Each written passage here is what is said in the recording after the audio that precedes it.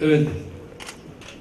Değerli dostum Junker'le gerçekten 2002 Kasım seçimlerinden sonra şöyle süratle 14 gün içerisinde dolaştığım ülkelerden Lüksemburg'da Junker'le ilk tanışmamız olmuştu.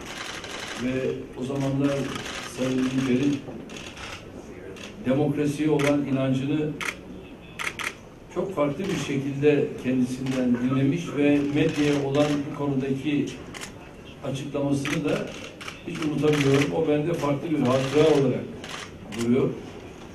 Ve o günden bugüne Avrupa Birliği sürecinde Türkiye'ye her zaman desteğini veren Sayın Juncker, şimdi de tabii genişlemeden sorumlu komiser olarak bu işin başında ve bugün özellikle gerek fasıllar gerekse son dönemlerin en önemli konusu olan mülteciler konusunu ele alma fırsatımız olacak. Bu arada Kıbrıs'ı yine konuşacağız.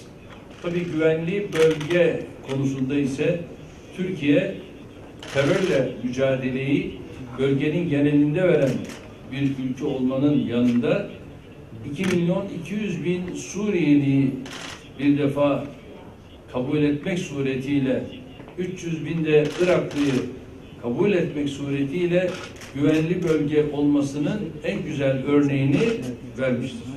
Bu mücadeleyi bu kadar kararlı bir şekilde veren Türkiye için güvenli bölge tartışmasını yapmak gerçekten bizleri ciddi manada üzer. Bunları da tabii ayrıca konuşacağız, değerlendireceğiz.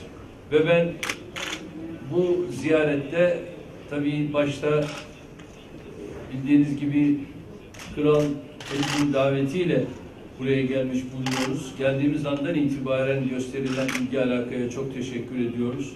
Bugün gerek Schulz'la gerek Donald Tusk ile gerek Sayın Juncker'le görüşmeleri yaptık, yapıyoruz ve akşam da yine şöyle bir dar kapsamlı çalışma yemeğinde bir araya geleceğiz. Orada da bu konuları değerlendirme imkanımız olacak. Yarın da bildiğiniz gibi Europalya'nın açılışını yapacağız. Türkiye olarak Europalya'da 200 objeyle bulunuyoruz. Geçmişi bugüne taşıyoruz ve 4 ay süreyle de bu devam edecek. Bu da ayrıca gerçekten Türk halkıyla Belçika halkının kaynaşması noktasında inanıyorum ki farklı bir geleceğe de ışık tutacaktır. Hepinizi kalbi duygularla selamlıyorum. Teşekkür ederim. Nasıl?